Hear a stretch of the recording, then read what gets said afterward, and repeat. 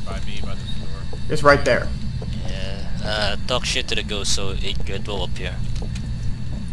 Go ahead. Richie. Talk crap. Okay.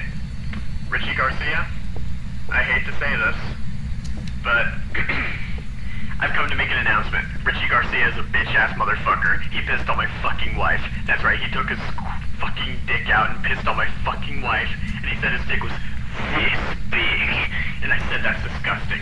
So I'm making a call-out post on my twitter.com. Richard Garcia, you've got a small dick. It's the size of this walnut, except way smaller. And guess what? Here's what my dong looks like. That's right, baby. All points, no quills, no pillows. Look at that, it looks like two balls in a bong. You fucked my wife, so guess what? I'm gonna fuck the earth. That's right, this is what you get, my super laser piss. Except I'm not gonna piss on the earth. I'm gonna go higher. I'm pissing on the moon. How do you like that, Richard? I pissed on the moon, you idiot. You have 23 hours before the piss droplets hit the fucking earth. Now get out of my fucking sight before I piss on you too.